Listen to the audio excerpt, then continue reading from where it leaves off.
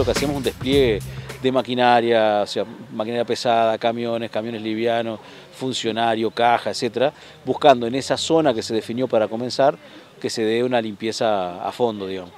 En cinco puntos a la vez del, departamento tenemos retros, tenemos camiones abiertos, varios, eh, cajas que se van desplegando en, en el territorio para que los vecinos puedan arrimar esto, ecopuntos, eh, camiones livianos que están trabajando, bueno, además de funcionarios, en fin, un montón de equipos que se despliegan en el territorio para que podamos mejorar la limpieza pública.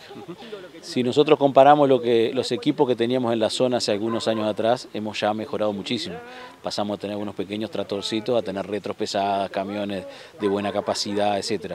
Este año vamos a volver a comprar. Estamos, Canelones va a tener 60 camiones recolectores en todo el departamento, cosa que nunca tuvo, de los cuales 30 vamos a sumar ahora, camiones nuevos. Vamos a entregar a contenedores domiciliarios a 140 mil familias. Eh, pero contenedores dobles, por lo tanto este, van a ser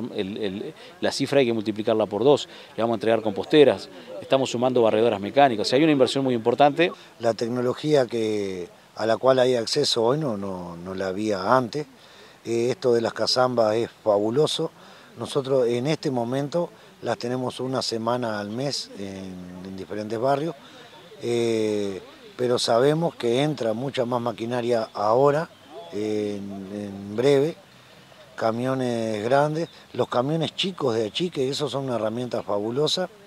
eh, más cazambas, la chipeadora y un montón de cosas más, y vienen inclusive nuevas barredoras,